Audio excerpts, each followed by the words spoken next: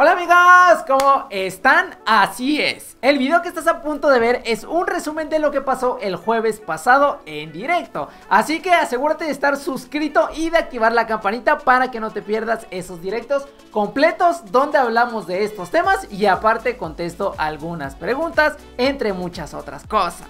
Una vez dicho esto te dejo con el video de hoy y que lo disfrutes muchísimo Ayer que salió la beta, quitaron algunas opciones, algunas novedades que ya venían en las betas de la 1, en la beta 2, beta 3, beta 4, beta 5, que venían así como puliendo, ¿no?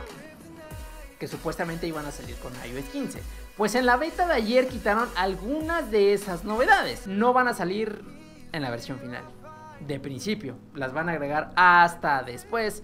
Así que básicamente yo creo que va a ser como un iOS 14.8, 14.9 en lugar de un 15. Lamentablemente así va a suceder. Aquí les voy a mostrar mi pantalla. Y bueno, vamos a leer este artículo que justamente es este SharePlay, Universal Control y algunas funciones más llegarán tras el lanzamiento oficial de iOS 15. SharePlay SharePlay engloba una serie de novedades para FaceTime como la posibilidad de compartir pantalla, música, una película o serie y más. Esto se refiere a que, eh, no sé si se acuerdan de la presentación de Apple, pero mencionaron que iba a haber una nueva función en la cual tú podías compartir, por ejemplo, una película con otro amigo que estuviera lejos de ti y los dos como que se sincronizaba el audio y la película y ambos podían ver lo mismo al mismo tiempo y podían comentarlo, ¿no? Informe de privacidad de aplicaciones. A ver, esto no sé muy bien a qué se refiere, pero dice, dentro de ajustes privacidad registra la actividad de las apps de iOS 15, registra a qué servidores conectan nuestras aplicaciones. En el ciclo de betas solo se nos ofrece la opción de descargar esta información en un archivo, será en futuras versiones podremos ver los datos de sí mismo, eh, o bueno, de los datos en la misma sección. O sea que no podemos ver cuál va a ser ese, ese servidor donde se registra nuestra actividad de las aplicaciones. Dominios personalizados para email.